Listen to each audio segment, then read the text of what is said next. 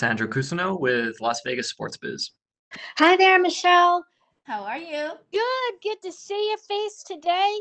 Um, question first question for me is you were part of some of the early cards in Jacksonville in the smaller cage. Did you learn anything in that fight that actually you deemed to be helpful going into Apex? Yeah, absolutely. Um, you know, just kind of being comfortable with the idea that there isn't a crowd, being comfortable with the idea that I could hear my corner and and she could hear my corner. Um, understanding that I had to draw um, energy from different places other than the um, the crowd. All those small little things, you know, play a factor, and definitely uh, we were able to to kind of fine tune how we trained in order to prepare ourselves for that. Second question is, in addition to some adjustments you've had to make in your career due to the pandemic, you're also a mom of a young daughter.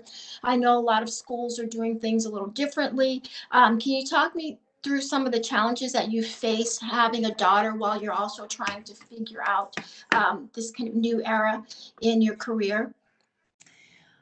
Um, you know, there's so many things that happen in my fight career that I learned that I can then transfer over into um, life lessons for myself and for, for my family and for my daughter. Um, something that really stuck out to me is how courageous and brave the UFC was in stepping outside of the comfort zone of the pandemic and and moving forward and pressing forward and figuring out a way to to give us all uh, work and allow us all to continue to pursue our passions during this pandemic it um it it really inspired me to to instill that within my daughter. Okay this has happened. This is out of our control. So now what can we do to grow from this versus allow it to make us submit to it? Um, there are always going to be problems in this world and you have to figure out as an individual how are you going to deal with this problem and how are you going to overcome this problem?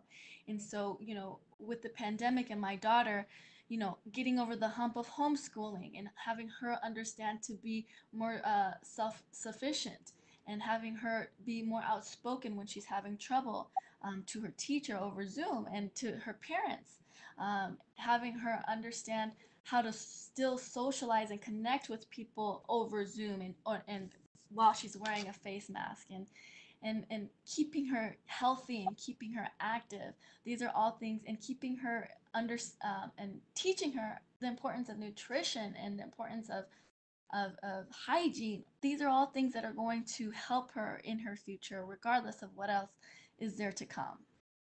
And finally, for me, um, about I guess going back to 2011, Dana was adamant that there weren't going to be women fighting in the UFC, and here you are on short notice headlining uh, a card. How does that feel for you? And do you think about those days when you thought maybe the door was closed, and, and do you embrace now how many opportunities you have in this promotion?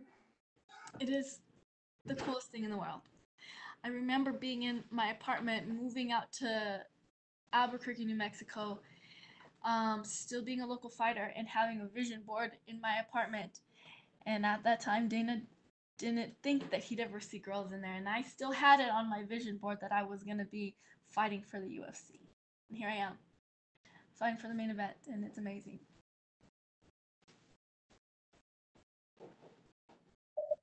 Thank you, Michelle. Good luck Saturday.